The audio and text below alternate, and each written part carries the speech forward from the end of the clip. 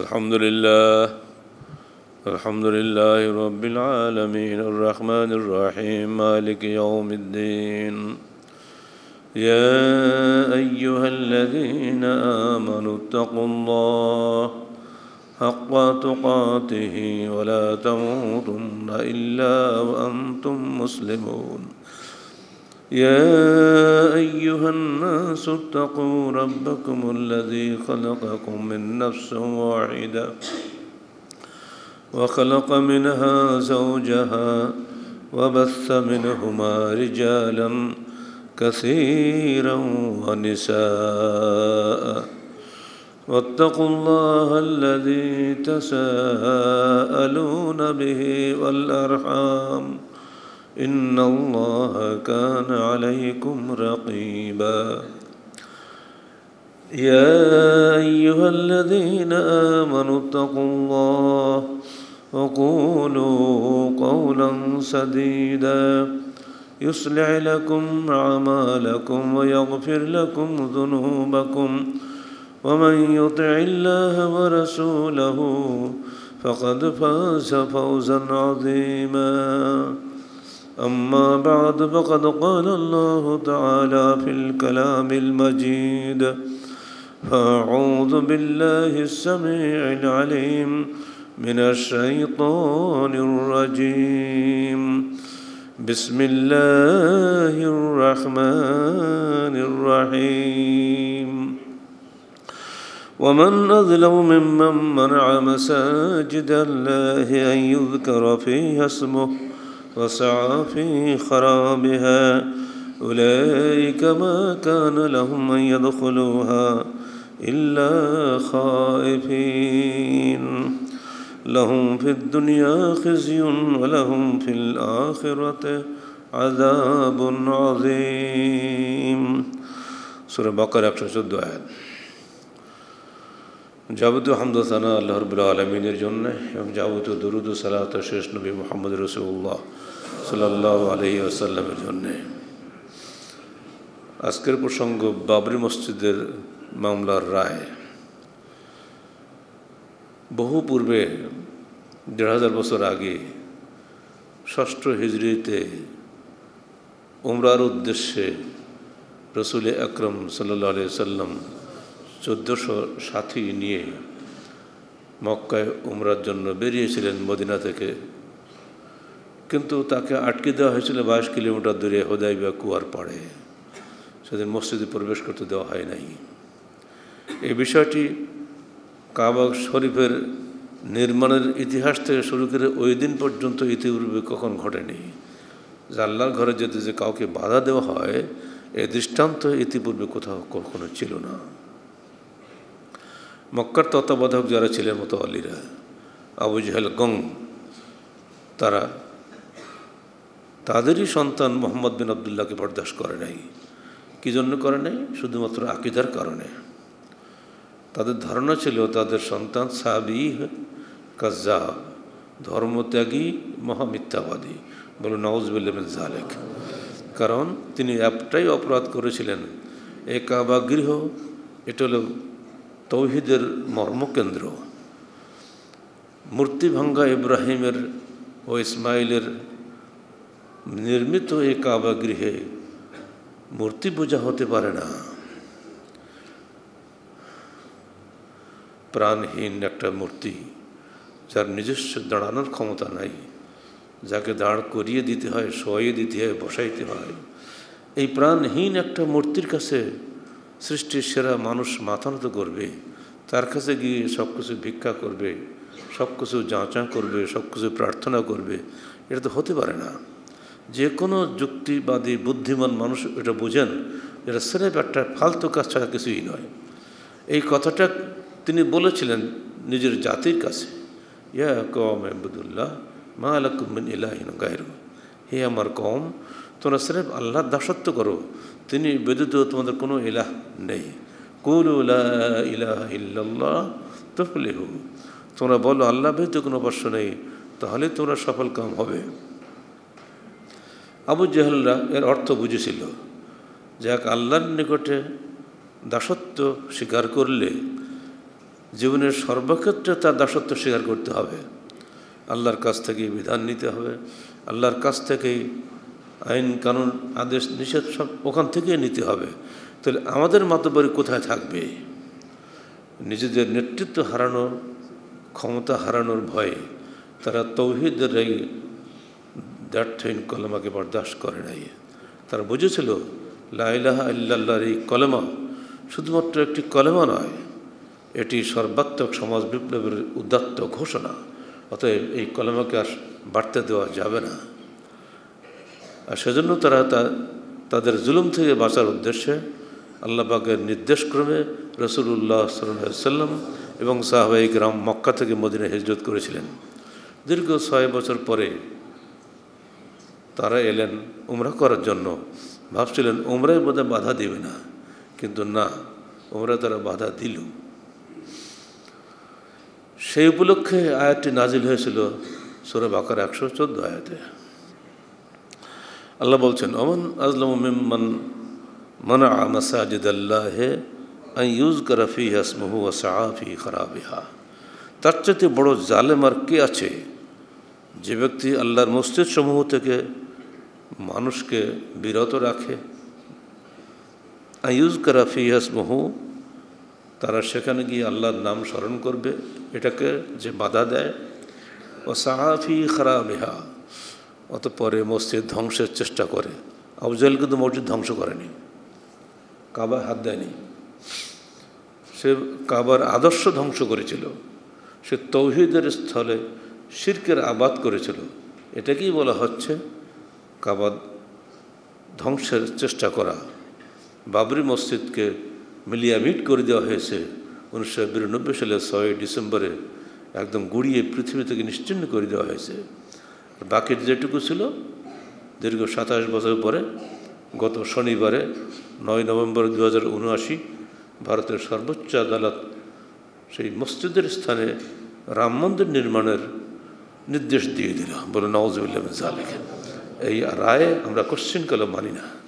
একবারে পুরোপুরি অগ্রহণযোগ্য। দুঃখ করে বলেছেন ভারতের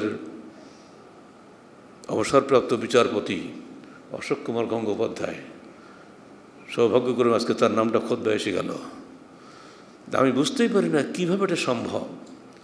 দীর্ঘ প্রায় পৌনে পাঁচ শত বছর ধরে যে মসজিদটি তার নিজের জায়গায় দাঁড়িয়েছিল, কিছু বরবর লোক সাতাশ বছর পূর্বে যে মসজিদটি ভেঙে দিল, আজকে হঠাৎ কেমন করে সেটা মন্দিরে পরিণত হয়ে গেল। আমি বুঝতেই পারি না এটা কী করে হলো। তিনি প্রশ্ন করেছেন আদালতের নিকটে যদি কেউ বলে, আমার, আপনার ওই বাড়িটির নিচে আমার একটা বাড়ি রয়েছে, এটা আমার বিশ্বাস। তাহলে কি আপনি ওই বাড়িটা ভেঙে তাকে দিয়ে দিবেন? তাতে কোশ্চিনগুলো দিবেন না। তাহলে কিসের ভিত্তিতে আপনারা দিলেন? প্রত্নতাত্ত্বিক সার্ভে সব কিছু করে দেখা গেছে, এখানে এই মসজিদের নিচে কোনো রাম মন্দির ছিল না। সবচেয়ে বড় কথা হলো, তিনি বলছেন, তিনি নিজেও হিন্দু বলেছেন যে রাম বলে যে কেউ ছিল, ইতিহাসে তার কোনো প্রমাণ নাই। বললাম আলহামদুলিল্লাহ। রাম মহাকাব্যে আছে, বাস্তবে নাই। অথচ একটা বিশ্বাসের ভিত্তি করে, যদি একটা সর্বোচ্চ আদালতে রায় হয়, তাহলে আমার বিশ্বাস যে আপনার বাড়ির তলে আমার একটা বাড়ি ছিল। দেবেন আমাকে? এর চেয়ে তার কী বলবে?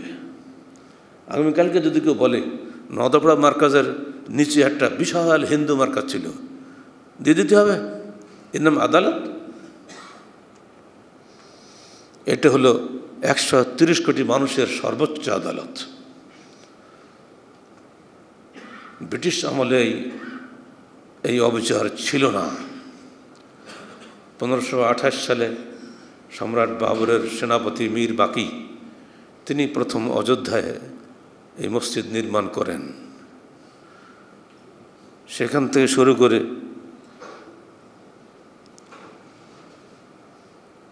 বাবরের মৃত্যু হলো, তার সেনাপতির মৃত্যু হলো, কেউ কিছু বলেনি।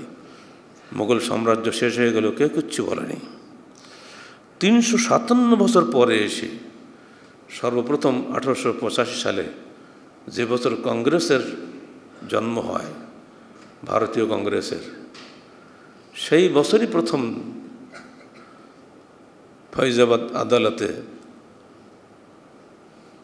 হিন্দুরা আবেদন জানায় যে ওখানে আমাদের, তাও একজন হিন্দু, রঘুবীর দাস।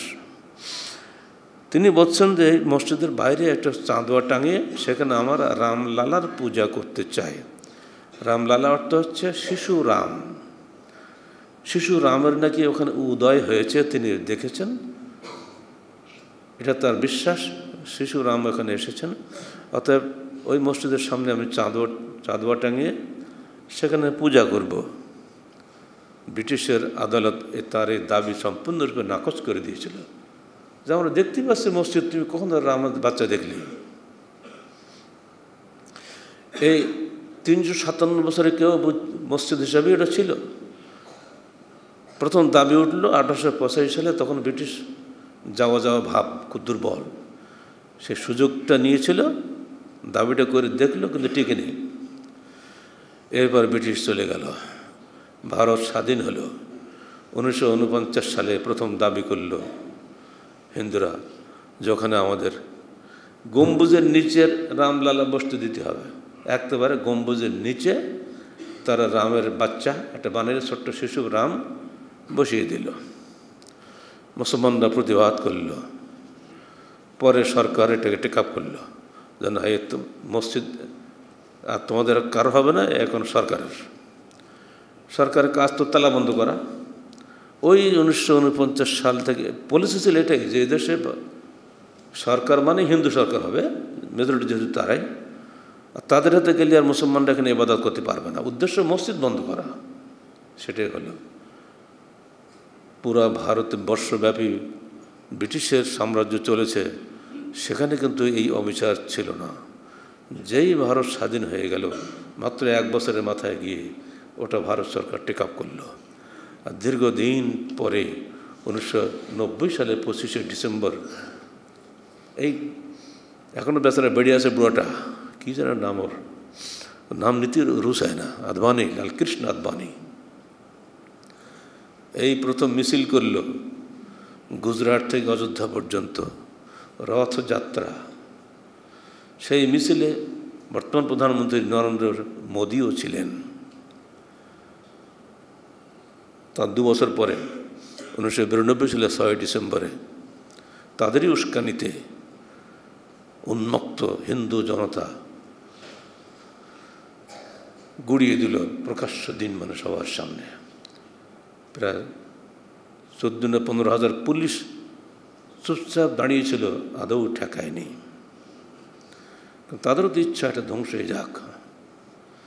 এইভাবে চারশো আটষট্টি বছর পরে বাবরি মসজিদ শহীদ হয়ে গেল। ঠেকানোর কেউ ছিল না। তখন থেকে মামলা চলছে। দীর্ঘ সাতাশ বছর মামলা চলার পরে এক হাজার পঁয়তাল্লিশ পৃষ্ঠার পঁয়তাল্লিশ পাতার বিশাল রিপোর্টের শেষে রায় ঘোষণা করা হলো যে এই মসজিদে এখন থেকে এটা রাম মন্দির হবে। নওয়াজবিল্লা এবং জালে এটাই যদি সর্বোচ্চ আদালতের রায় হয়, এতে একজন সাধারণ মানুষ বিচার করলেও বোঝে এটা কিছুই না। এবার চলে যান আর একটা আদালতের কথা বলে দিই। আদালতেও আদালতকে দিই বলতে হবে, উনিশশো সতেরো সালে। এটা আমরা কথা বলছি দুই হাজার উনিশ সালে। একশো দুই বছর আগে, চলুন আর একটা আদালতের গল্প আপনাদের শুনিয়ে দিই। লাহোরে একই অবস্থা হয়েছিল লাহোরে হিন্দু মুসলমানদের মধ্যে। একটা পরিত্যক্ত ভূমি, মসজিদ না। একটা পরিত্যক্ত ভূমিতে হিন্দুরা বলল, আমরা এখানে মন্দির করব। মুসলমানরা দেখল জায়গাটা তো চমৎকার জায়গা। এ তো ছাড়া যাবে না। আর একবার যদি হিন্দুরা এসে গান বাজনা করে, তা আমাদের পরিবেশটা নষ্ট হয়ে যাবে। তখন মুসলমানরা বলল যেখানে করতে দেওয়া হবে না। উভয় পক্ষ আদালতে দাবি পেশ করল, যেহেতু খালি জায়গা। আগে মসজিদ ছিল, মন্দির ছিল না, কিছুই না। দেখেন, ব্রিটিশের আদালত কেমন বিচার করে? আদালত রায় দিল যে ঠিক আছে। আমরা সচক্ষে গিয়ে দেখব ওখানে মসজিদ আছে না মন্দির আছে। যেটা থাকে সেটা দেব। কথা সুন্দর কথা। আসলে তো কিছুই নেই। মসজিদ নেই, মন্দিরও নেই। তো কী করবে? একজন মুসলিম লয়ার এদের, এদেরকে বুদ্ধি দিল, এই, বলা যায় না, আদালত তো কালকেই চলে আসতে পারে। তোমরা কি এক রাতে মসজিদ বানাতে পারবা? তাহলে হ্যাঁ পারব। এক রাতেই মসজিদ বানিয়ে ফেলে দিল মুসলমানরা গিয়ে। ঠিকই সকালবেলা আদালত গাড়ি নিয়ে চলে আসছে। আমাদের তো পুলিশ যায় দেখার জন্য, তাই না? ওরা যেহেতু বিচার করবেন বিচারক, দায়িত্ব তো বিচারকের, পুলিশের তো দায়িত্ব না। পুলিশ তো ভুল রিপোর্ট দিতে পারে। সঙ্গে সঙ্গে আদালত চলে গেছে, গিয়ে দেখে দিব্য মসজিদ। বাস পদ্মের রায় শেষ, এটা মসজিদ জায়গা হয়ে গেল। রায়টা দেখছেন তো? মসজিদ বলতে আলহামদুলিল্লাহ পড়বেন, যদি মন্দির হয়তো। তো মন্দির হয়ে যেত। কিন্তু বিচারটা খেয়াল করেন, তারা দেখল যখন উভয়ে দাবি করছে, আমরা সরজমিনে তদন্ত করে দেখি না কেন? অন্যকে যে তদন্ত করালে সে আয়দের হিন্দু হবে, নয় মুসলিম হবে, নিজের জাতি টান টানবে। আমরা তো খ্রিস্টান, আমরা ডাইরেক্ট চলে যাই, বিচার তো আমরাই করব, বিচার দেখেন। দেখলেন মসজিদ, আর হিন্দুরা আসতে পারে মসজিদ কখন হলে রাতে বলে হিন্দুরা বলতে পারছে না যে এটা মন্দির, বলে দেবে মসজিদ দেখলে? হিন্দুরা চুপ কোনো কথাই বলে না এই মসজিদটার নাম হচ্ছে সাব্বার মসজিদ মানে এক রাতের মসজিদ এই মসজিদের উপলক্ষে আল্লামে ইকবাল কবিতা লিখলেন मस्जिद तो बना दी सब भर में ईमां की हरारत वालों ने मन अपना पुराना पापी है बरसों में नमाजी बन न सका गुफ्तार का ये गाजी तो बना किरदार का गाजी बन न सका কত চমৎকার কথা আমি বহু পূর্ব থেকে এটা জানতাম আজকে প্রসঙ্গক্রমে কথাটা এসে যাচ্ছে তিনি বলেন দেখো ইমানের তেজে বলিয়ান হয়ে তোমরা তো এক রাতেই মসজিদ বানিয়ে ফেললে কিন্তু তোমার মনটা পুরোনো পাপিয়ে থেকে গেল। সারা বছর সালাদ আদায় করেও মনটা পরিশুদ্ধ হলো না। কথার তুমি গাজী চরিত্রে গাজী বানতে পারলে না। আর যা তিনি বলেছেন, সাহেবে গুফতার তু হ্যায়, সাহেবে কিরদারবান কথায় তুমি বড় বক্তা, চরিত্রে তুমি সেরা চরিত্রবান হও। আল্লাহ ইকবালের এই উপদেশপূর্ণ কবিতা আজকের প্রেক্ষাপটে কি? জরুরি নয়। যদিও এই বাবরি মসজিদে নিয়মিত আবাদ থাকতো, হিন্দুরা অথবা তোমার সাহস করতো না। আর দুর্বল মুসলমানরা ভয়তে পালিয়ে যায়। কিন্তু উত্তেজনা সৃষ্টি হলে তখন খুব জোশ হয়। যেটা দেখা গেল, যখন গুড়িয়ে দিল মসজিদটা তখন কিন্তু সারা ভারতে হিন্দু মুসলিম দাঙ্গা শুরু হয়ে যায়। দাঙ্গা শুরু হতে প্রায় দুই হাজার মানুষ নিহত হয়, যাদের অধিকাংশ ছিল মুসলমান। তারই রেশ ধরে দুই হাজার দুই সালে গুজরাটের দাঙ্গা হয়। নরেন্দ্র মোদী তখন ছিলেন গুজরাটের গভর্নর, মুখ্যমন্ত্রী। তখনও কিন্তু একই অবস্থা। প্রায় এক থেকে দুই হাজার মানুষ নিহত হয়, যার অধিকাংশই মুসলমান। তো এই একটা মসজিদ নিয়ে প্রায় চার হাজার মানুষের জীবন গেছে, বিশ হাজার মানুষ পঙ্গু হয়েছে ঘর বাড়ি লুণ্ঠিত হয়েছে, আর স্থায়ীভাবে হিন্দু মুসলমানের মধ্যে মোহব্বত, ভালোবাসা বিনষ্ট হয়েছে একটা মসজিদ নিয়ে। অথচ সেটা রায় দেওয়ার সময় একটা পক্ষকে দেওয়া হলো, আর পক্ষকে মাহরুম করা হলো অন্যায়ভাবে। মুসলমানরা তো প্রতিবাদ করেছেই হিন্দু বিচারপতিরা পর্যন্ত এর বিচার এর প্রতিবাদ করছেন। এরপরেও আমরা বলব, ধৈর্য ধারণ করার জন্য। কারণ, উত্তেজিত হওয়ার চাইতে ধৈর্য ধারণের মধ্যেই ভবিষ্যৎ নিহিত রয়েছে। তাকে দেখুন, দেড় হাজার বছর পূর্বেই রসুল্লাহ সাল্লা সাল্লাম চোদ্দোশো যান বা সাথী নিয়ে হদাইবিয়াতে যখন ফিরে আসছেন, তখন কোনো সাহাবি ফিরে আসতে চান নাই। সবাই বলেছিল, জীবন দেব, ফিরে যাব না। আল্লাহর ঘরে যাব, কে বাধা দেবে? ওমরের মতন তেজস্বী বীর কোনো মতেই মানতে পারেন নাই। সিরত রসুল পড়ে দেখবেন এ বিষয়ে বিস্তারিত আলোচনা আছে। তিনি সরাসরি আল্লাহ রসুলের সঙ্গে যে বিতর্ক শুরু করে দিলেন অবকার কাছে গিয়ে বিতর্ক শুরু করলেন। আমরা কেন ফেরত যাব? আল্লাহর দিন কি সত্য নয়? আল্লাহর নবী কি সত্য নয়? কাবা কি সত্য নয়? যে সত্য ধর্মের জন্য আমরা যাচ্ছি লড়াই করতে। আল্লাহ আমাদের সাহায্য করবেন। কোনো অবস্থায় আমরা কাফেরদের প্রস্তাবে সাড়া দিয়ে ফিরে যেতে পারি না। দূরদর্শী, শান্তিপ্রিয় নবী মোহাম্মদ রসুল্লাহ সাল্লা সাল্লাম পরিষ্কারভাবে বলে দিলেন ফিরে যেতে হবে। যুদ্ধ করতে আমরা আসিনি। কেউ তার ডাকে সাড়া দেয় না। সাথে ছিলেন উম্মুল মোমিন উম্মে সালামা। স্ত্রীর কাছে তিনি পরামর্শ নিলেন বলো তো কী করতে পারি আমি এখন? কেউ তো যাচ্ছে না ফিরে? উম্মে সালামা বললেন, আসুন, আপনি, আমি মিলে আমি আপনার মাথা নেড়া করে দিই। যখন ওরা দেখবে আপনি হালাল হয়ে গিয়েছেন, তখন আর কিন্তু ওদের ওই জিদ আর থাকবে না। ওরা আপনি আপনি নরম হয়ে যাবে। এই পরামর্শ উনি গ্রহণ করলেন। এবারে তাকে হালাল করে দেওয়া হলো। আল্লাহ রসুল কাফন, ইহরাম ফেলে যখন সাধারণ পোশাক পরলেন, মাথা নেড়া করে সামনে এলেন, তখন সবাই আস্তে আস্তে আস্তে আস্তে দুর্বল হয়ে গেল। যাকে নিয়ে লড়াই করব, তিনি তো হালাল হয়ে গেছেন, তা আমরা কী করব। এইভাবেই কিন্তু সেদিন একক মানুষের দূরদর্শী চিন্তাধারা এবং সর্বোপরি আল্লাহ পাকের ওহির কারণে তিনি এই সাক্ষাৎ সংঘর্ষ থেকে, রক্তাক্ত বিবাদ থেকে পিছিয়ে এসছিলেন ফলাফলটা কি দাঁড়াল? ফিরে যাচ্ছেন, বেশি দূর যাওয়া লাগেনি। কোরাউল গামিং পর্যন্ত পৌঁছছেন মাত্র চল্লিশ কিলোমিটার। সেখানে গিয়ে আয়াত নাজিল হয়ে গেল, ইন্না ফাতাহানা লেখা ফাতাহান মবিনা। আমরা তোমাদেরকে আজকে স্পষ্ট বিজয় দান করলাম। আল্লাহ রসুল বললেন, যাও। আয়াতটা শোনাও উমরকে।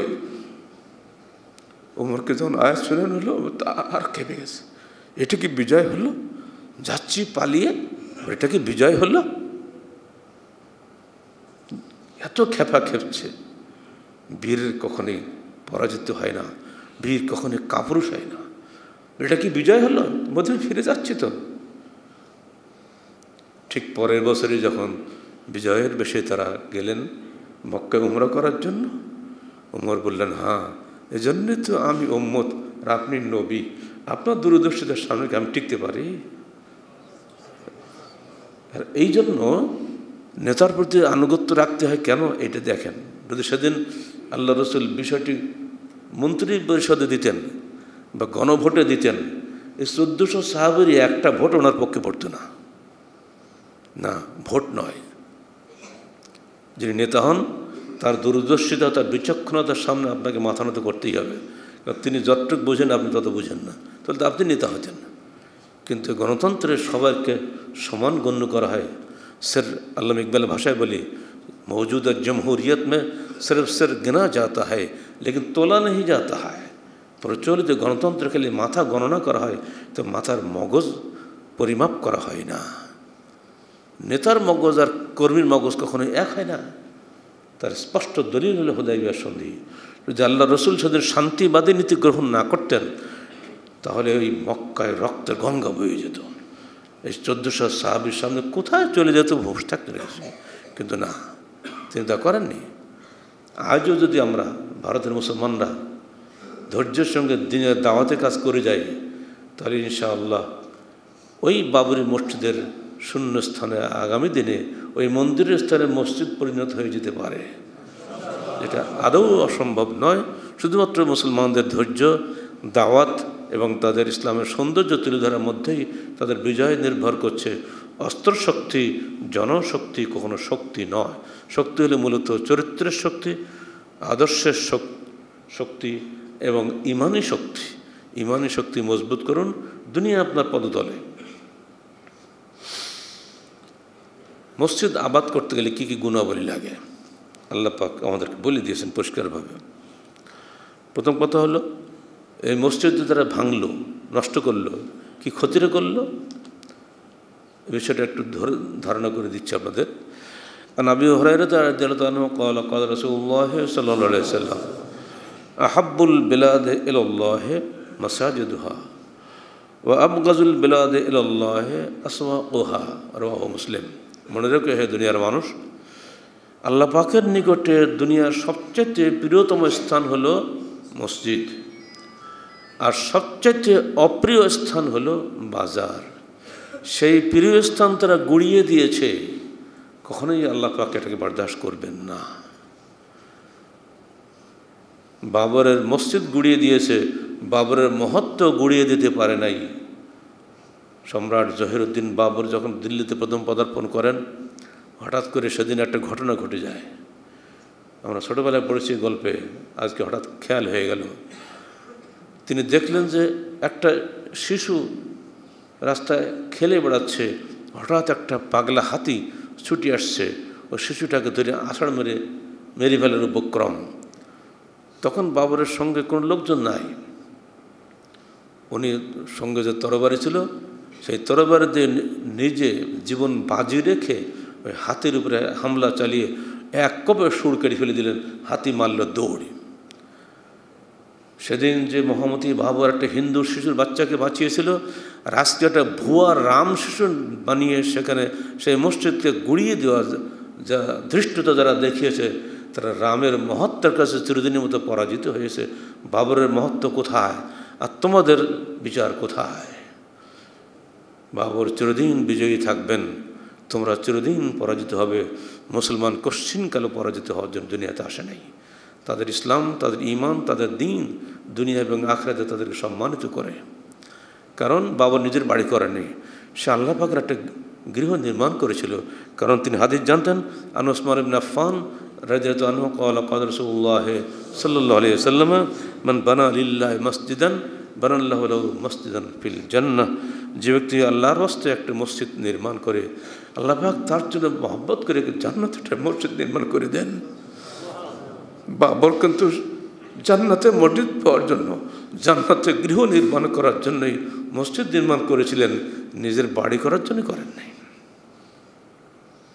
কোথায় তাদের মহত্ব? কোথায় তোমরা? মানুষদের নয়। সাবধান, এই মসজিদ যারা ভেঙেছে এখনও যারা ভাঙবে তাদেরকে আমরা সাবধান করে দিচ্ছি, খবরদার। মনে রাখবেন, এই মসজিদ যে প্রথম ভেঙেছিল, খবর রাখেন, তার অবস্থা কী হয়েছে? বলবীর সিং, তার সাথে যোগেন্দ্র পাল, শিবসেনা, একটা অত্যন্ত নিকৃষ্ট দল ভারতে গোড়া চূড়ান্ত হিন্দুত্ববাদী, চরমপন্থী দল। ছাত্র জীবনে তাদের সঙ্গে মিশে এই ছেলেটি নষ্ট হয়ে যায়। সেই প্রথম শাবল দিয়ে এই মসজিদের ইট প্রথম ভাঙে। তার ভাঙা দুটো ইট যখন নিজে দেশে নিয়ে আসে পানি পথে, তখন শিবসেনারা সেই ইট দুটো নিয়ে পূজা করে। অত্যন্ত সুন্দরভাবে সাড়ম্বরে তাকে সাজিয়ে রেখেছে তাদের অফিসে। কিন্তু ফলাফলটা কী হলো? এই ছেলে যখন বাড়িতে ঢুকলো, তার পাপ দৌলতরাম পরিষ্কারভাবে বলে দিল, তুমি আমার বাড়িতে ঢুকবে না, বেরিয়ে যাও। কারণ তুমি মসজিদ ভেঙে এসছো। মসজিদ ভাঙা সন্তানকে আমি আমার গৃহে প্রবেশ করতে দিব না। অথচ বাপ কিন্তু হিন্দু।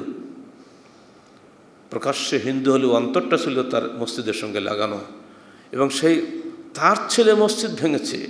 এই মনস্তাপে, এই অনুতাপে কয়েক কিছুদিনের মধ্যেই ওই বেচারা দুনিয়াতে বিদায় হয়ে গেল। বাপ বের করে দিয়েছে এই কাজে। ছেলের মধ্যে একটা দারুণ পরিবর্তন আসলো। সে কি? আমার জন্মদাতা বাপ আজকে আমাকে রিসিভ করবে, অভ্যর্থনা জানাবে। কিন্তু আব্বাতে না খসে আমাকে বের করে দিল। ছেলে দৌড়লো, কোথায় মুসলমানদের আলমালামা পাওয়া যায়? কলিম সিদ্দিকির কাছে চলে গেলাম। যে বলল, আপনি আমাকে ইসলামে দীক্ষা দিন। কেন? আমি মসজিদ ভেঙেছি। সর্বনাশ, তুমি এই কাজ করে আসছো? দুঃখ করো না। আল্লাহ ক্ষমাশীল তবা করো। আল্লাহ তোমাকে ক্ষমা করে দেবেন। সঙ্গে সঙ্গে তবা করল। নাম হলো মোহাম্মদ আমির। সেই উনিশশো তিরানব্বই থেকে দু হাজার সতেরো সাল পর্যন্ত সারা ভারতে, বিশেষ করে উত্তরপ্রদেশে, বহু ভগ্নপ্রায় মসজিদ এই ছেলেটি একাই সুন্দরভাবে গড়ে দিয়েছে। তার কাজ খালি একটাই, যেখানে মসজিদ ভাঙ ভগ্ন প্রায় সে পাবে, সে মসজিদ সে খাড়া করবে। কারণ সে বাবরি মসজিদ ভাঙার প্রথম নেতৃত্ব দিয়েছিল। এই অনুতাপে সে কিন্তু এই কাফরা আদায় করছে। শুধু তাই না? তার বন্ধু যোগেন্দ্র পাল সে মুসলমান হয়ে গেছে এবং সে এই এই কাজ কেন করলে পাপের কাজ? সে দুশ্চিন্তা করতে তার মাথা বিকৃত মস্তিষ্ক হয়ে গেছে। মুসলমানদের মসজিদে গায়ে হাত দেওয়া যায় না। কারণ মসজিদে মানুষ আল্লাহ কাছে শ্রদ্ধা করে, কোনো মূর্তির কাছে শ্রদ্ধা করে না। তৌহিদের সঙ্গে শির্কের সম্পর্ক, একজন উজুকারী ব্যক্তির সঙ্গে বায়ুনিঃসরণের যেমন সম্পর্ক বায়ুনিঃসরণ হলে যেমন উজু থাকে না, শিরিক করলে তেমনি তৌহিদ থাকে না। যে মাথা একবার আল্লাহর সামনে নত হয়, সে মাথা কখনো মূর্তির সামনে নত হয় না, সে মাথা কখনো কবরের সামনে নত হয় না, সে মাথা কখনো কোনো প্রাণীর সামনে নত হয় না। সম্মুখে চলিতে হবে উন্নত মস্তক, উচ্চে তুলি, যে মস্তকে ভয় লেখে নেই, লেখা দাসত্বের ধুলি, আঁকে নেই কলমকে তিলক, কবির এই কল্পনা কিন্তু তহিদের ক্ষেত্রেই খাটে। বলা হচ্ছে এই বলবীর সিংয়ের বাপ দৌলতরাম কখনোই নাকি মূর্তি পূজা করেন নাই। প্রতিবেশীরা কেউ জানতো না। তিনি কখনোই হিন্দুদের মতো যে যা করে ওরা করে, কিছুই সে করতো না। যদি সে পরিবেশ পাইতো, তার বাপও হয়তো মুসলমান হয়েই মরত।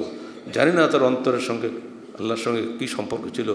তবে এটুকু প্রতিক্রিয়া দেখা গেছে যে ছেলেকে বাড়ি ঢুকতে দেয়নি। ভারতের অসংখ্য হিন্দুর মধ্যে এর একটা দারুণ প্রভাব পড়বে আশা করি। বহু লোক হয়তো বা ইতিমধ্যে মুসলমান হয়ে গেছে হিসাবে তো আমরা জানি না। এবার যে রায়টা দিল, এই রায়ের ফলে পুরা ভারতের মুসলমানদের পরাজয় ঘটেনি, পরাজয় ঘটেছে ন্যায় বিচারের। মুসলমানদের মানুষের সর্বোচ্চ আস্থা থাকে আদালতের উপরে। আদালত যখন অন্যায় বিচার করে, সর্বোচ্চ আদালত যখন সেই অন্যায় বিচারের সমর্থন দেয়, তখন সেখানে আর মানুষ কিসের ভরসা করবে? ফলে আগামী দিনে ওই দেশে যে কী ঘটবে আল্লাহ ভালো জানে। এখন যারা খুব খুশিতে বাগবাগ হচ্ছে, তারা তো চিরকাল থাকবে না। তারা তো একদিন মরবেই ভারত হয়তো দেখবেন টুকরা টুকরা হয়ে যাবে। টিকতে পারবে না। পঁচিশ কোটি মুসলমান সেখানে ভেসে আসেনি, তারা তাদের বাঁচার জন্য চেষ্টা করবে। মসজিদ বানানোর নেকি শুনলেন। পৃথিবীর সবচেয়ে প্রিয়তম স্থান আল্লাহ নিকটে মসজিদ। আর সবচাইতে বড় উপকার হলে এই মৃত্যুর পরে আমরা আল্লাহর নিকটে, এটা গৃহ আল্লাহবাগ আমাদেরকে দান করবেন। এইটা যদি পাওয়া যায় তাতে কিছু দরকার নেই। দুনিয়ায় বিল্ডিং করা কি দরকার? বিল্ডিং তো ওটাই আমাদের বেশি প্রয়োজন। মুসল্লি ভাইদেরকে বলছি, বারবার তো বলার অভ্যাস আমাদের নাই, জানেন? এই মসজিদ ভাঙতে হবে, জায়গা হচ্ছে না। দেখেন, এখনই সামনে দু তিন কাতার চলে গেছে। বহু আগে আপনাদের বলেছিলাম, এখানে আমরা সাইনবোর্ড দিয়ে রাখছি, মসজিদটা বানাতে প্রায় পাঁচ কোটি টাকা খরচ হবে। বহু কোটিপতি আপনারা আছেন রাজশাহীতে। কারও কি মনে চায় না? রাজশাহী শহরের সবচেয়ে বড় মসজিদ এটা। আর ছাত্রদের জায়গা দিতে পারছি না। বাধ্য ডাইনিং হলটা বাইরে আনছি। ওখানেও প্রায় দশ লাখ টাকা খরচ হবে। কে দিবে টাকা? আমরা তো সরকারি কোনো অর্থ পাই না। মোমিন নরনারীর অন্তর খোলা দান এখানে আসে। আমাদের অ্যাকাউন্টে আসে। কে দেয় জানি না। আপনারা দেওয়ার চেষ্টা করবেন আখরাতের গৃহ নির্মাণের স্বার্থে আল্লাহ পাকের কাছে সর্বোত্তম প্রতিদান পাওয়ার স্বার্থে এখানে দান করবেন। আশা করি আপনি আগদাও পরাজিত হবেন না, বরং বিজয়ী হবেন। দিনদার ভাই বোনের কাছে আমার অ্যাপিল রইল, মাদ্রাসা, মসজিদ এবং এই ডাইনিং হল নির্মাণে সহযোগিতা করুন। শীতকাল এসে যাচ্ছে, আপনাদের ম্যাটের অবস্থা বুঝতেই পারছেন, এই ম্যাট কিন্তু লাগবে নাকি প্রায় দশ লাখ টাকা। আমরা ওই ছোটো মসজিদটা করলাম গতকালকে। সেখানে এক লক্ষ পাঁচ হাজার টাকা খরচ হয়ে গেল। এটা তো অনেক বড় এটা মসজিদটা। দিন দিন সবই পরিবর্তন হবে, সঙ্গে সঙ্গে আমাদের মানসিকতার পরিবর্তন হওয়া জরুরি। চলুন আমরা সামনে চলে যাই। কারা মসজিদ আবাদ করবে? মসজিদ আবাদ করার জন্য আল্লাহ পাক পরিষ্কার বলে দিয়েছেন, মা কান আলিল মুশ্রিকিনা আবরু মাসাজিদ আল্লাহ শাহেদিনা আলা আনফুসিম বিল কুফর উলায়কে হাবতত আমালুম। অফিন্নারেহম খালেদুন মুশ্রিকদের জন্য এটা আদৌ সমীচীন নয় যে তারা আল্লাহর মসজিদ সমূহ আবাদ করবে। শাহেদিন আলা আনফুসিম বিল কুফরি, যারা নিজেদের উপরে কুফরির সাক্ষ্যদাতা। উদয়কে হাবততা আমল ফির অফিন্নারে হুম খালেদি খালেদুন। তারা তাদের সমস্ত আমলটা বরবাদ করে ফেলেছে। এবং তারা চিরদিন জাহান নামে থাকবে। বোঝা গেল? মসজিদ সিরাফ ইমানদার লোকরাই করবে, মুশরিকরা করবে না। আল্লাহ পাকে এখানে কাফের বলেননি মুর্শেক বলেছেন। মুর্শেক কিন্তু মুসলমানরাই হয়। আকসার হম বিল্লাহে ইল্লা ওহম মুশ্রিকুন। আল্লাহ বলছেন, অধিকাংশই ওরা মমিন, কিন্তু ওরা মুশ্রিকও বটে। অর্থাৎ মমিনরাই মুশ্রিক হয়। সাবধান। আমরা যেন মসজিদদের খাতায় নাম লেখাই। মসজিদ হয়েছে। এটা আহলাদিসের মসজিদ ভেঙে ফেলাম। আগুন দাও। চলছে না বাংলাদেশে?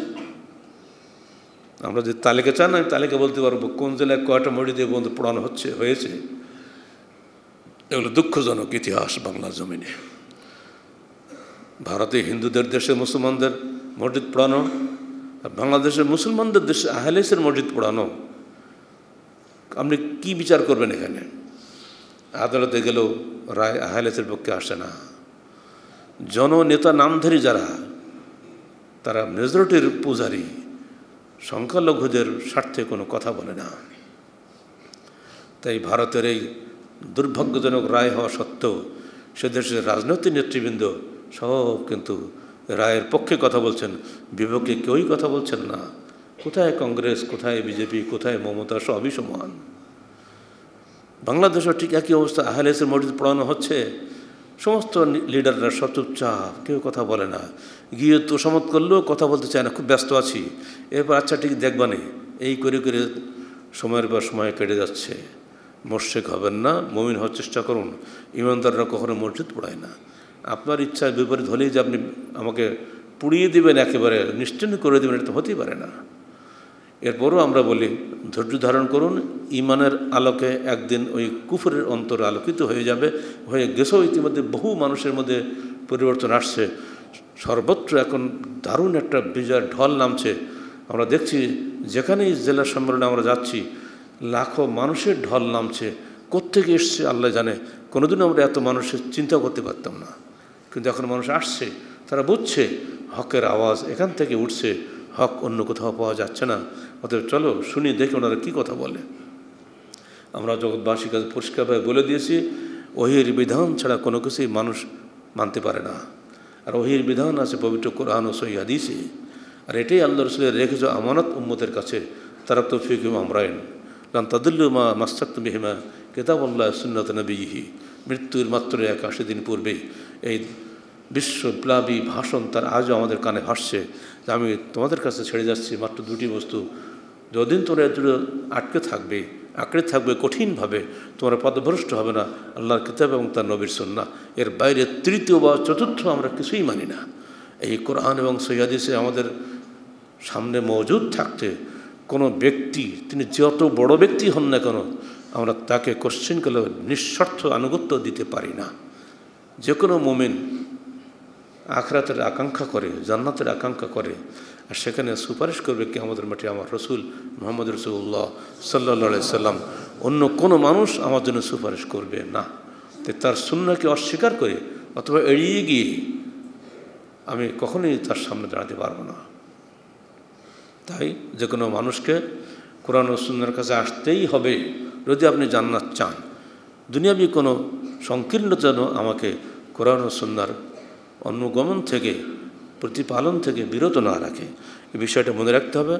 এটা হলে কিন্তু আমি মুশ্রিক হয়ে যাব। এরপরে আল্লাহবাক বলতে দেখো, মক্কার নেতাদের উদাহরণ দিয়ে আল্লাহবাক আমাদের শোনাচ্ছেন। আজাল তুম সেকয়াতুল হাজ ও ইমরাতুল মসজিদুল হারাম, কমন আমন বিল্লাহ আলিয়ামিল আখির ও জাহাদ ফি সাবিল্লাহ লা ইস্তাবুন ইন্দাল্লাহ, আল্লাহ লা ইয়াহদিল কওমাল জালিমিন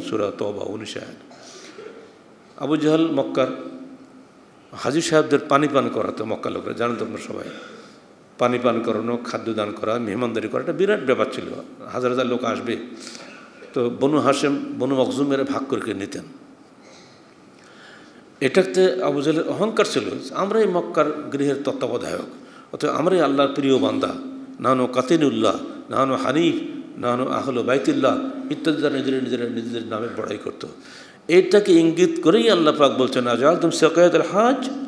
হাজি সাহেবদের পানি পান করানো, ও ইমারাতুল মসজিদ হারাম মসজিদে হারাম নির্মাণ করা, এটাকে তোমরা ওইরকম মনে করো? কেমন আমানা বিল্লাহ আমিল আখের।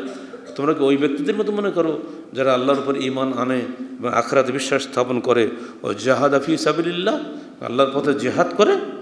লায়াস্তাবুনা ইন্দল্লাহ। কোশ্চিন কালো এই দুইটা দল এক নয়, সমান নয়। আল্লাহ লাহাদিল কৌমদ আলমিন আল্লাহ কখনই জালেম কমকে হৃদায়ত দান করেন না। আহলাদিস আন্দোলন বাংলাদেশ। সারা বাংলাদেশে পবিত্র কোরআন ও সৈয়াদিসের আলোকে ইমানই সমাজ গড়তে চায়।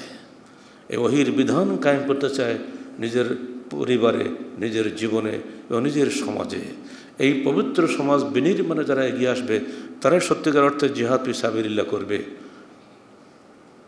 চরমপন্থীদের মতো বোমাবাজি করার মাধ্যমে আমরা কোশ্চিনকালে মানুষের হৃদয় জয় করতে চাই না।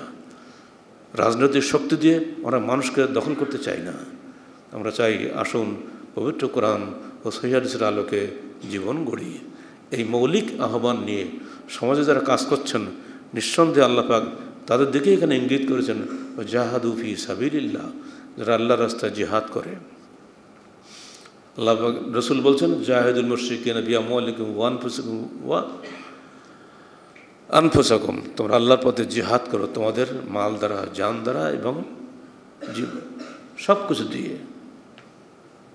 সেজন্য প্রত্যেকটা ইমানদার মানুষের কর্তব্য হবে জান, মাল সব কিছু দিয়ে পবিত্র কোরআন ও সৈয়াদিসের বিধান সমাজে প্রতিষ্ঠা করার জন্য চেষ্টিত হওয়া।